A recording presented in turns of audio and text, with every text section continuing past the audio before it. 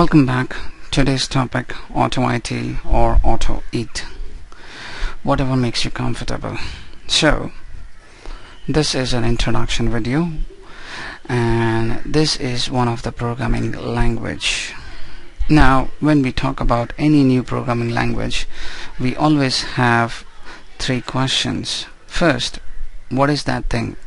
So, Auto IT is a freeware it has no cost attached to it. It's a programming language which was designed to automate Windows-based application. So that's Auto IT. Now next is how it is going to help you. Now in today's world, there's a punchline which goes across the globe saying automation is a king. So you can imagine many, many IT companies are trying to automate all the possible products they have Windows-based application products, web-based application products, legacy-based applications. So all they're doing is they're trying to automate things in the possible way and this is the right time. So I would encourage you to learn this and this is something you can put in on your resume to say, hey, I know automation specifically a Windows based or legacy based application I can automate. Now in automation there are different factors you can look at but I'm not gonna speak about that right now. I'm gonna make a different video about that. Now let's have a look at the features what AutoIT has. Number one like I mentioned it's free no cost attached. Learning is quite easy because of the easy syntax and it has a support for IntelliSense so it makes our life easy Next is it can recognize Windows controls like the controls which are running on Windows OS like when I make an application uh, in .NET let's say and that application is running on Windows so it's a Windows application. Uh, example a calculator or a notepad it's a Windows application right? So uh, can auto IT can interact with them. Now let me give you a bit of an idea what I mean by that is so this is what auto IT you know looks like. Not this is not the auto IT this is something which recognizes the Windows control.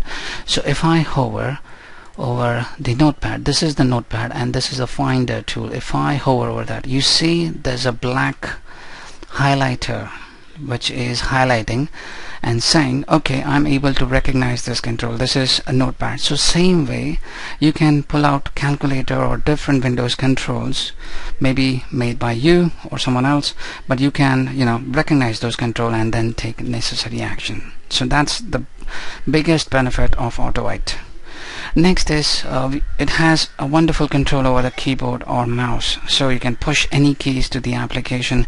You can make a left click or right click yeah?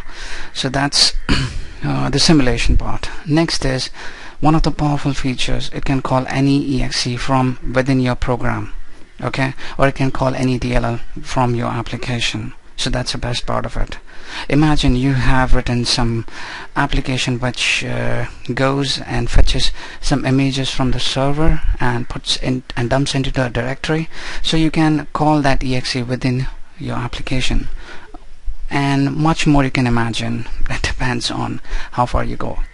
Uh, then Windows API function. You can also call inbuilt Windows API function like get the Windows height width or open a window close a window get the Windows property something like that. So inbuilt features that you can access.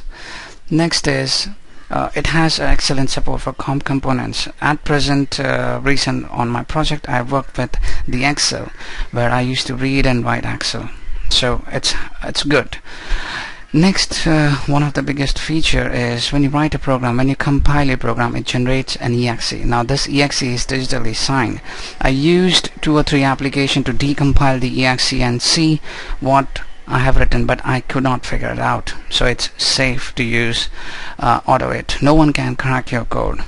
Then it supports 64-bit components so that is also good in case of documentation it has a wonderful site where you can see the list of all the controls it supports all the possible events uh, which you can call up or you can do things about it. So it's on there. And it has also the excellent active forum where people talk about the problems or the new ideas if you can implement them. Yeah?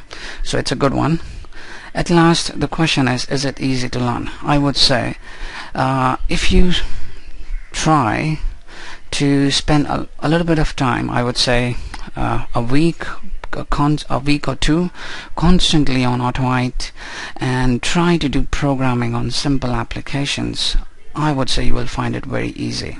Now here there's some problem. The problem is if you don't spend time regular basis see.